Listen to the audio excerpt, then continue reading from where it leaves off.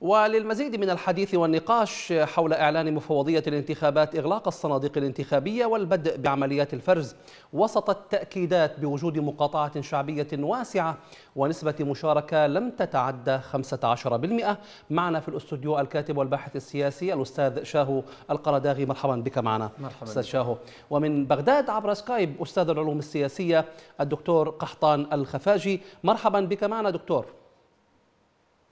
أهلا وسهلا بك حياك الله حياكم الله دكتور. كما يسعدنا أن نرحب من مالمو بعضو التحالف الوطني المعارض الأستاذ لبيد الصميدعي مرحبا بك معنا سيد لبيد. أهلا وسهلا بكم حياكم الله. حياكم الله. أبدأ معك أستاذ شاهو. الكاظمي يقول بأنه أتم إجراءات الانتخابات بالشكل المطلوب كي تكون انتخابات نزيهة وآمنة وفر كل المتطلبات من أجل هذه العملية الانتخابية في 2020 لكن السؤال عن بماذا اختلفت هذه الانتخابات عن سابقاتها في 2018 مرحبا بكم تحياتي لكم وللضيوف الكرام والمشاهدين الكرام. طبعا إضافة إلى تصريحات رئيس الوزراء بأنه أتم المهمة التي جاء من أجلها هذه الحكومة المبكرة وهي أخذ العراق إلى انتخابات مبكرة. أيضا نسمع تصريحات قادة الكتل السياسية بأن العرس الانتخابي نجح وبأنهم سوف ينجحون في صياغة أو تقديم رؤية جديدة للعراق مجددا عن طريق نتائج هذه الانتخابات. ولكن عندما ننظر إلى العزوف الجماهيري عن المشاركة في الانتخابات نرى أنها قد لا تكون تغيرت كثيرا عن الانتخابات الماضية التي تسببت بنتائج كارثية تسببت بحكومة ضعيفة فاشلة لم تستطع أن توفر الخدمات وبالتالي تسببت بحدوث انتفاضة تشرين الذي من نتائجه التغييرات التي حصلت في الساحة العراقية. من المؤسف أنه خلال الفترة الماضية عندما كان هناك حديث عن الانتخابات المبكرة نحن رأينا كثيرا عمليات قتل ناشطين قتل كثير من الناشطين الذين كانوا يشكلون خطرا على الحاضنة الشعبية للميليشيات وأيضا تهجير الكثير منهم وهروبهم خارج بغداد أو خارج العراق أصلا بسبب الخوف من سلاح الميليشياوي. هذه العوامل التي كانت موجودة لم توفر البيئة العادلة أمام كافة المرشحين أو كافة المواطنين حتى يدخلوا في هذا التنافس الانتخابي. نعم. إضافة إلى أمر آخر وهو أمر المال السائب الموجود المال الموجود عند الكثير من الأطراف السياسية التي استخدموها بطريقة لنفعهم الشخصي أو استخدموا استغلوا المناصب التي هم فيها أو الموضوع الأخطر وهو الأذرع المسلحة للأحزاب السياسية. ال ال نحن نتحدث عن الكثير من الميليشيات والفصائل المسلحة التي شاركت في الانتخابات. هذه العوامل كافة اجتمعت ودفعت الكثير من المواطنين أن لا يشعروا بأن الانتخابات أصبحت وسيلة نافعة للتغيير. وهذا الإحساس دفعهم إلى البقاء في البيت نعم. وعدم المشاركة في الانتخابات وهنا السؤال الرئيسي لو كانت هذه العوامل متوفرة والأمن متوفر والفرصه العادلة لكل فلماذا لم يشارك لماذا لم يشارك؟ الشعب بالانتخابات؟ الشعب بشكل كبير وكما يسموه لماذا لم يكن عرسا انتخابيا بالمعنى الكامل. وبالتالي نعم. هذه الأمور هذه المعطيات التي نراها الحقائق الأرقام التي تم نشرها منذ صباح اليوم يؤكد أن مع من المؤسف أنه لم يتغير شيئا كثيرا نعم. عن الانتخابات وهذه الارقام تستحق أن نتوقف عندها أستاذ شاهو بشكل أو بآخر. يعني عندما والسؤال موجه للدكتور قحطان إذا كان معي الآن يسمعني دكتور قحطان. دكتور قحطان يعني نتوقف عندما أدت به وكالة رويترز التي أكدت أن نسبة المشاركة في الانتخابات الحالية في 2021 هي الأدنى منذ عام 2003 حتى اليوم. والتقارير الميدانية والإعلامية تحدثت عن أن النسبة لم تتجاوز 15% ما الذي تعكسه هذه النسبة شعبيا وحتى سياسيا؟ أكرر الترحيب بك وبالضيوف وبالمشاهدين الكرام. نعم النسب متدنية جدا وقد تكون أقل بكثير من 15% هناك أرقام أتت لنا من فضل الله تدلل على أن النسبة لا تتجاوز 10% هذا بالتأكيد يؤكد حقيقة أن الشعب العراقي وعى حقيقة اللعبة السياسية ومآلاتها وبالتالي القرار السليم الذي اتخذه الشعب العراقي بالمقاطعة هي دلال على حضارية الشعب العراقي وسلميته في إحداث تغيير حقيقي في عملية لم تفضي إلى شيء إيجابي نهائيا. والدليل على ذلك أنها تقبل هذه العملية السياسية بنسبه بأي نسبة متدنية من المشاركة، إذا ليس الغاية منها أن تحقق رغبات الجماهير بقدر ما هي عملية تمرير القوى السياسية المتنفذة. إذا هذا أيضا يضيف شيء آخر على المجتمع الدولي أن على المجتمع الدولي أن يكون مسؤولا أمام مدى مشروعية هذه العملية السياسية وبالتالي لابد من إجراء آخر دولي عراقي مشترك لأجل أن يتعامل التعامل اللازم واللائق مع نتائج العملية السياسيه الفاشلة. نعم. أستاذ لبيد هذه المقاطعة الشعبية الكبيرة التي تحدث عن تحدثت عنها التقارير ألا تضرب العملية السياسية أو شرعية العملية السياسية في مقتل؟ نعم بسم الله الرحمن الرحيم بالحقيقة أنا أستطيع أن أقول بأن الشعب العراقي شارك اليوم بالتصويت لكنه بطريقته الخاصة الشعب العراقي قال لا صوت بكلمة لا للعملية السياسية لا لهذه الطبقة السياسية الصادئة الفاسدة التي أهلكت العراق التي دمرت العراق وخربته. فإذا نحن أمام نتيجة كبيرة بالحقيقة في اليوم في الانتخابات في اليوم. مرفوضه من أكثر من 80% من العراق. حتى لو افترضنا أن نسبة المشاركة هي بحدود 15 أو قل 20% من الشعب العراقي لكن جزء من هذه ال 20% كما نعلم كانوا يعتقد بأن بإمكانية الإصلاح وبإمكانية تغيير الطبقة السياسية التي جثمت على صدر العراق منذ 2003 إلى هذا اليوم. اذا حتى ال 20% بالحقيقة تقول لا للطبقة السياسية لا للمنظومة الحاكمة الآن، فاذا ما ما تحظى به الطبقه السياسيه هي بالحقيقة لا يشكل 10% أو أقل 10% من الأصوات وكل هؤلاء نعرف نعلم أن الجزء الأكبر من هذه النسبة التي حققتها الطبقة السياسية التقليدية هي آتية من التشكيلات العسكرية ومن الميليشيات ومن المنتفعين ومن ومن بسطاء الناس يعني. فإذا النتيجة الأوضح والنتيجة الأكثر صدقا والأكثر واقعية لهذه الانتخابات واضحة جدا.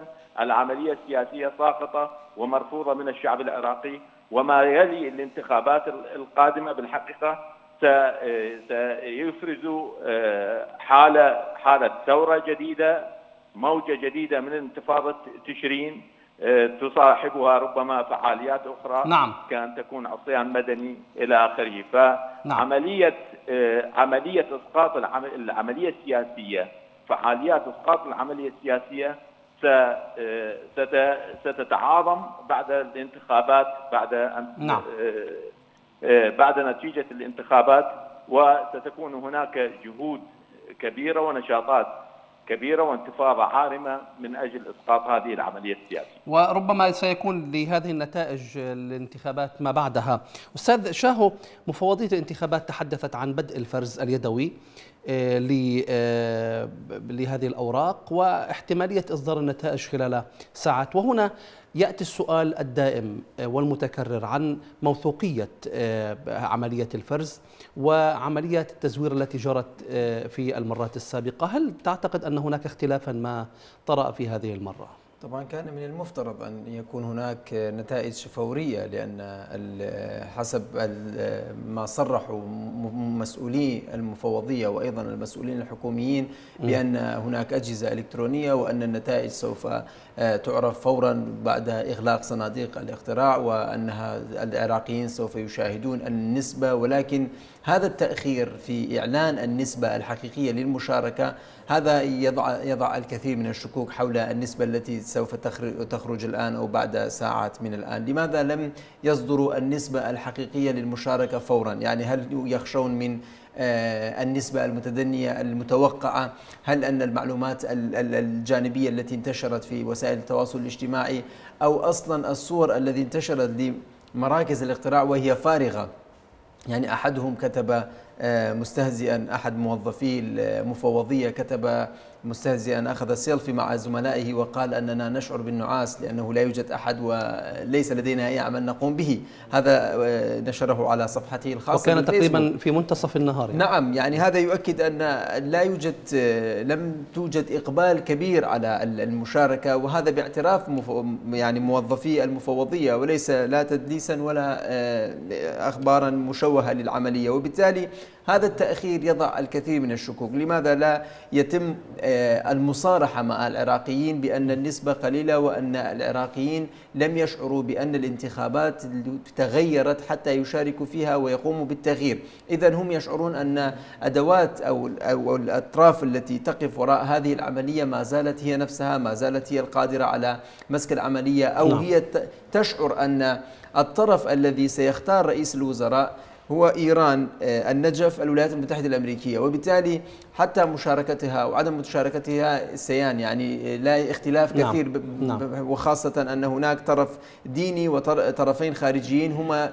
من يحددان مصير العراق ويحددان آه، منصب رئيس الحكومة وبالتالي هذه العوامل وبقاء التدخلات الخارجية داخل العراق دفع المواطن إلى عدم الشعور بالثقة الكاملة وأنه عندما طالب أيضا من البداية عندما طالب بانتخابات مبكرة طالبه بالكثير مع الكثير من الشروط والخطوات التي لم تتحقق وليس أن تأتي نفس الوجوه والأحزاب. تماما. نعم. هنا نعم. نتحدث عن للأسف إعادة تدوير إعادة تدوير الوجوه وليس تغيير جوهري. بكل بكل تأكيد.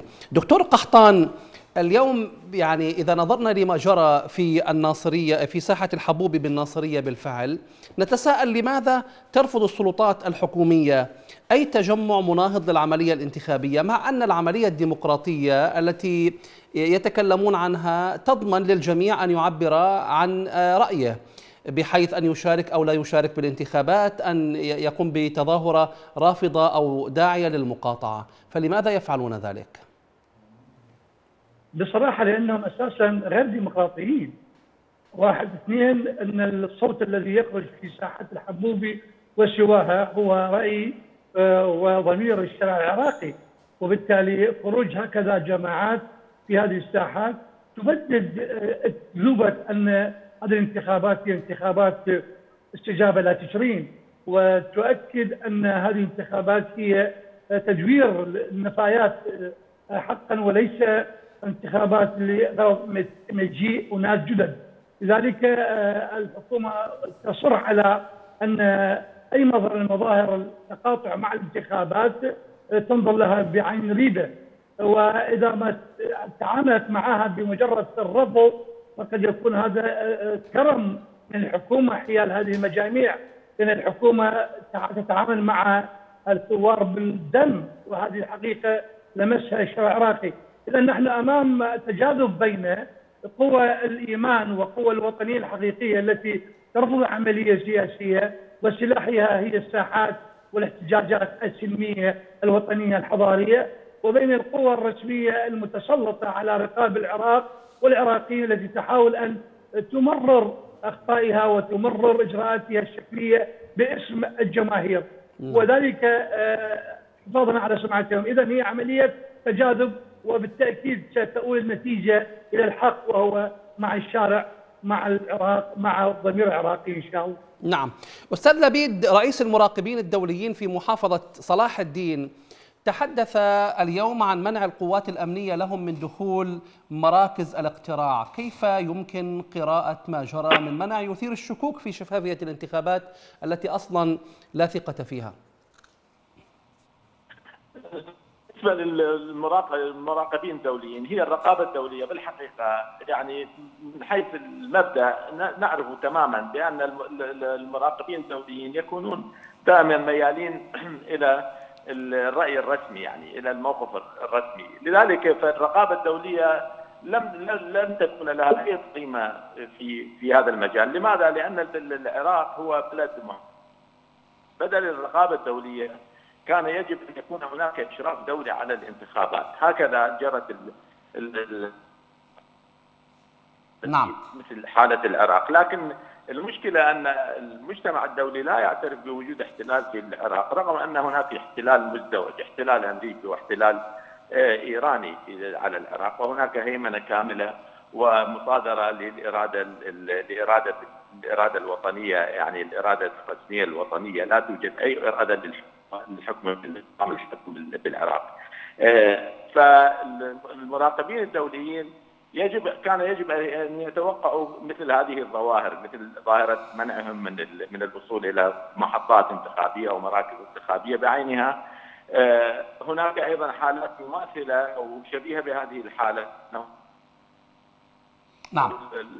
بعض المراقبين أعتذر منك أستاذ لبيد الصوت الصوت نعم. تتقطع. أعتذر منك ونعود إليك في سؤال قادم إن شاء الله. أستاذ شاهو آه، هناك حديث أوروبي كما تابعت معنا قبل الانتخابات وأثناء الانتخابات عن مخاوف من تأزم الأوضاع السياسية في العراق بعد إعلان أو صدور نتائج الانتخابات، وهذا طبعا يشير إلى عديد من الإشارات المهمة وأن الأمور قد تعود إلى المربع الأول الذي خرج من أجله المتظاهرون والثوار في أكتوبر 2019. السؤال عن خطورة إجراء الانتخابات أساسا في ضوء الظروف التي أشرت إليها في الإجابة عن السؤال الأول، السلاح المنفلت، الميليشيات، كل هذه المعطيات. آه، طبعا عندما نتحدث عن آه، السيناريوهات التي تنتظر العراق آه، من ضمنها هذا السيناريو. نحن لدينا أغلبية غاضبة خرجت في تظاهرات تشرين وعبرت عن غضبها وأرادت التغيير. هذه الأغلبية الغاضبة لم تشارك في هذه الانتخابات. رأينا قد يكون هناك حركات هنا أو هناك قالت أنها تمثل تشرين ولكن الأكثرية لم تشارك في الانتخابات. هذا يعني أن هذه الأغلبية الغاضبة ما زالت ترى في النظام السياسي في المنظومة السياسية أنها لا تستجيب لمطالبها وبالتالي إمكانية الخروج مجددا مستقبلا وارد جدا. إمكانية التعبير عن هذا الغضب وارد جدا لأنها تشعر أنها آه، تم خداعها بمجموعة من الشعارات آه، تم خداعها بمجموعة من الوعود آه، أحدهم حسين مؤنس رئيس حركة حقوق آه، التابعة لكتائب حزب الله كان يقول حركتنا من نتائج حراك تشرين.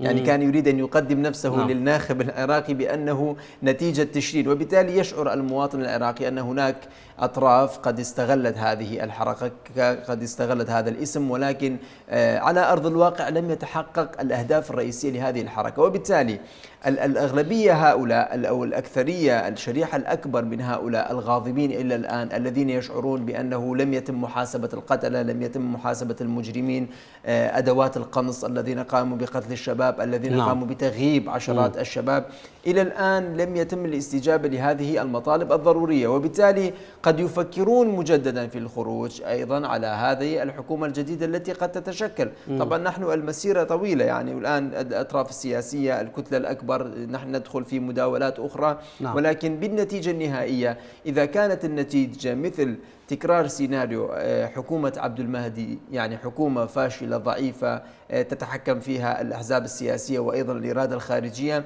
هنا طبعا الأمر الوارد الأكبر هو تكرار السيناريو السابق وأيضا خروج المتظاهرين مجددا لأنه لا يوجد أفق واضح للتغيير وأيضا المشاكل الاقتصادية أيضا قد تتفاقم مستقبلا وأيضا لا يوجد طرف يستطيع أن يجسد إرادة هؤلاء أو يقنعهم بأن هناك املا للتغيير في ظل هذه المعطيات نعم. سيكون هناك طريق واحد أمام م. هؤلاء الشباب أمام م. هؤلاء المواطنين حتى من كافة شرائح المجتمع أن يخرجوا مجددا كما فعلوا مع عادل عبد المهدي ويعبروا عن غضبهم مجددا دون أن يكترثوا بما حصل لأن نعم.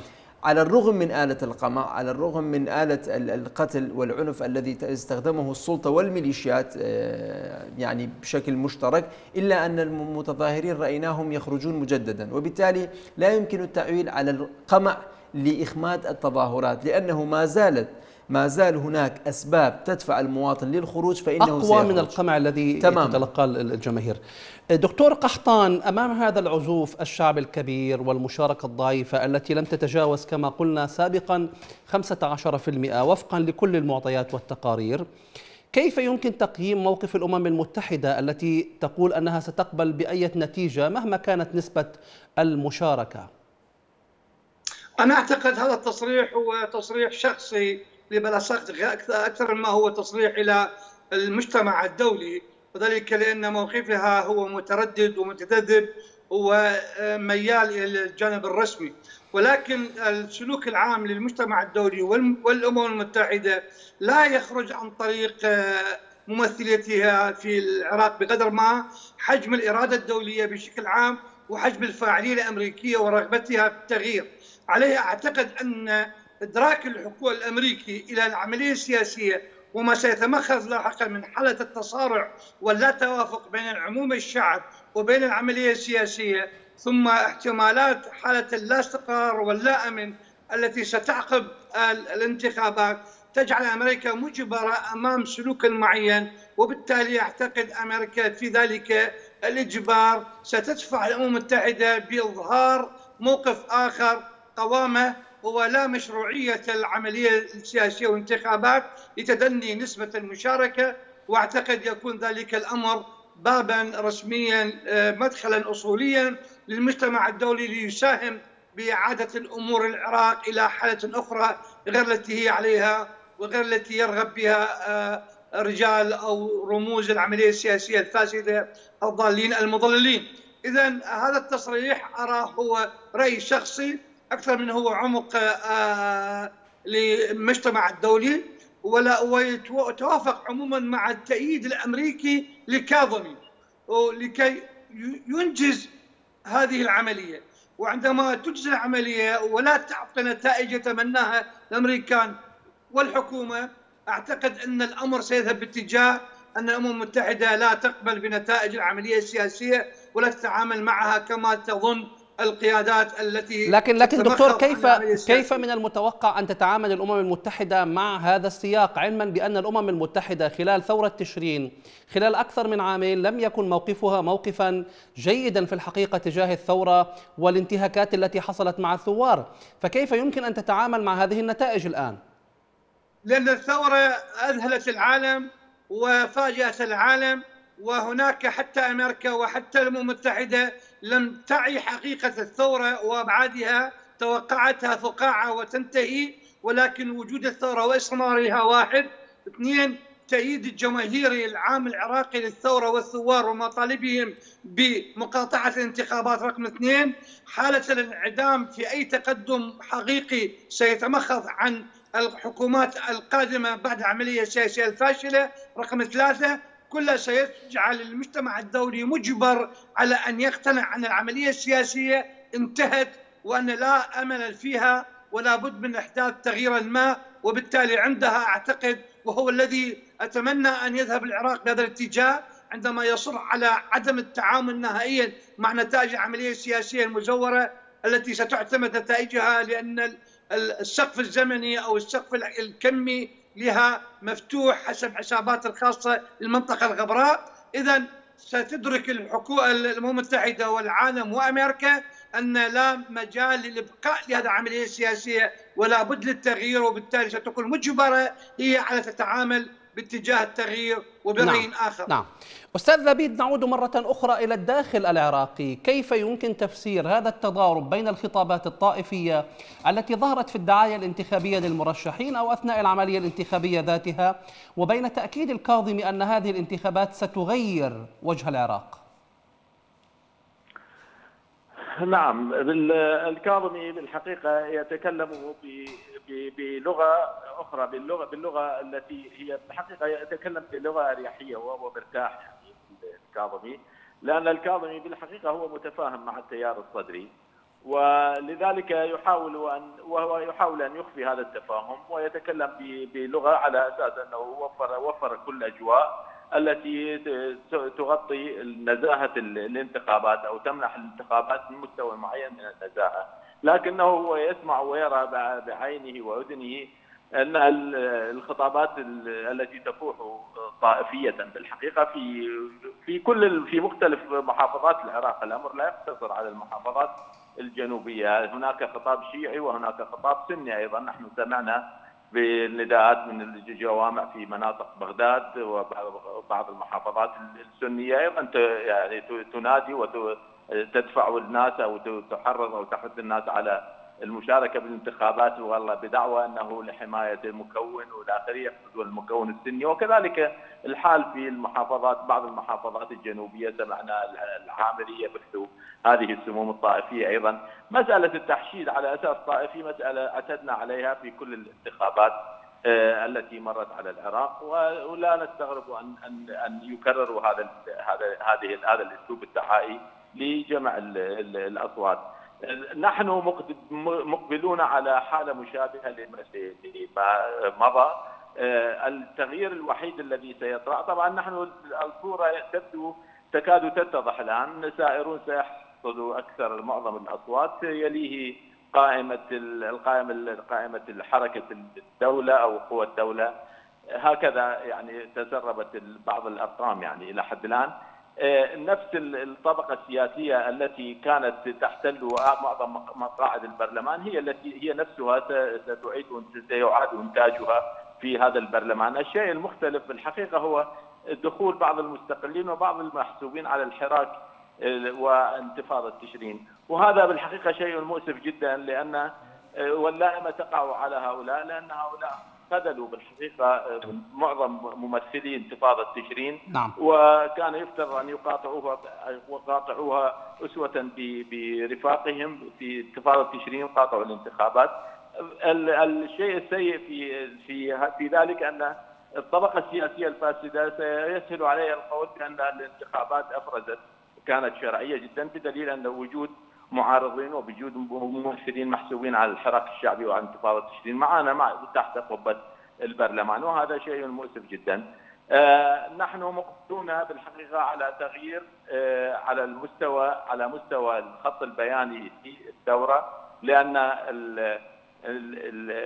ما يدعيه الكاظمي بأن هذه الانتخابات جاءت استجابه لمطالب حركة تشرين أو انتفاضة تشرين نعم. هو بالحقيقة تزوير للحقيقة لأنهم لم يستجيبوا ل 10% من مطالب انتفاضة تشرين، كل ما تحقق هو بالحقيقة زيادة عدد الدوائر نعم. الانتخابيه، لكن لم يجري تعديل لقانون الأحزاب، الأحزاب استمرت تستخدم المال السحت، مال الفساد، الاموال الأموال التي تراكمت لديهم بحكم كونهم كانوا يتقاسمون السلطة منذ 2005 نعم. إلى يعني على مدى 15 عام تقاسموا السلطة وجمعوا مالا من اموال اموال المال السياسي والمال المنهوب من الدولة وبذلك استطاعوا أن يبنوا آه، حمله حملات انتخابية ويرشوا الناس ويدفعوهم إلى التصويت لصالحهم. نعم. هذه هذه الحقيقة لن تنقضي على الشعب العراقي نتوقع بأن رد فعل الشارع العراقي سيكون أعنف مما كان عليه في 2019 و2020 والثورة قادمة قادمه حتى نعم. أشكرك أستاذ لبيد. دكتور قحطان أعود إليك مجددا. كيف يمكن قراءة ما جرى من خروقات وأعمال عنف بين المرشحين وحالة التهافت الكبيرة للحصول على مقعد في البرلمان والفوز بالانتخابات؟ هل تعتقد أن هذه الأحزاب وهذه الشخصيات مؤهلة بالفعل لقيادة العراق الخلافات البينية بين القوى السياسية المتسلطة اتسعت كثيرا وأعتقد أنها ستأخذ مجال أوسع وبدلالات حركية عنف عنف واضح بين الجهات المختلفة سواء داخل الحزب الواحد أو داخل الخندق الأشمل والأكبر لما يسمى بين قوسين المكون. آه، أما أما تصاعد الخلافات بينهما وسعيهما الأعمى إلى إلى الكراسي هذلك يذهب لاتجاهين أساسيين. أولهم هو الحفاظ على البقاء في مناصبهم آه، للحصول على مزيد من المكاسب. اثنين آه، الحد من احتمالية فتح ملفات ضدهم لذلك يلجؤون إلى أن يصلوا إلى مركز القرار حتى يحتووا أي عملية من هذا القبيل. آه، أما الذي حصل آه، كيف يصلون وكيف يقدمون شيئا ايجابيا للعراق لا أعتقد أنهم يقادرون على أن يقدموا شيئا وذلك لأنهم أساسا لم يأتوا لكي يقدموا شيئا بقدر ما أتوا لكي يحققوا أجندات خارجية. وهذا الذي حصل بالعراق. ان الآن الإرادة الخارجية الإيرانية في مقدمتها كذلك الأمريكية والصهيونية أيضا متحكمة بالشأن العراقي نتيجة لهؤلاء. إذا هؤلاء سيبقون في هذا التناحر نتيجة للخصومات الشخصية لمطامع الشخصية ونتيجة للخصومات والخلافات الإقليمية الدولية داخل العراق لذلك نعم.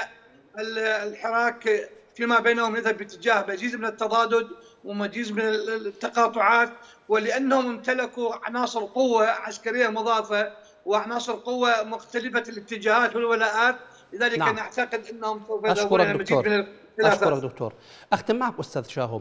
ألا تعتقد أن هذه النسبة الكبيرة من المقاطعة وعدم ثقة الشارع العراقي دليل قاطع على نجاح الثورة من جهة وعلى فشل هذه العملية السياسية من جهة أخرى وأنها بدأت يعني ليست بدأت وصلت إلى مرحلة كبيرة من التآكل بحيث أن الجماهير العراقية لم تعد تثق بها ولم تعد تذهب لصناديق الاقتراع أساسا للاقتراع. هدف الانتخابات المبكرة كان إعادة الشرعية للنظام السياسي. تدني نسبة المشاركة أنهت هذه الشرعية بشكل كامل ومن الممكن أن نقول أن هذه النسبة هي تشرين ثانية يعني مرحلة أخرى من نعم. مراحل نعم. تشرين ولكن عبر صناديق الاقتراع عبر صناديق الاقتراع لأن من عبر عن غضبه بالخروج إلى الشارع عبر عن غضبه هذه المرة بالبقاء في البيت. م. وبالتالي الرسالة واضحة. الرسالة هي عدم الاقتناع بالوعود التي تعهدوا بها النظام السياسي بالإصلاحات بالتغييرات وبالتالي ما يدفعهم إلى البحث عن أي آلية للتغيير وعدم اقتناعهم بإدارة بإعادة تدوير الوجوه الذي يسير عليه العراق وكل الوعود والأشياء التي انطلقت للتسويق لهذه الانتخابات يبدو أنها لم تصل إلى آه، عقل المواطن العراقي ولم نعم. يقتنع به ويريد وسيلة أو أداة أخرى للتغيير يراه مستقبلا. أشكرك جزيلا الأستاذ شاهو القرداغي الباحث والكاتب السياسي. شكري موصول للدكتور القحطان أيضا كان معنا من بغداد. وكذلك الشكر موصول للأستاذ لبيد, لبيد الصميدعي عبر الخط الهاتفي.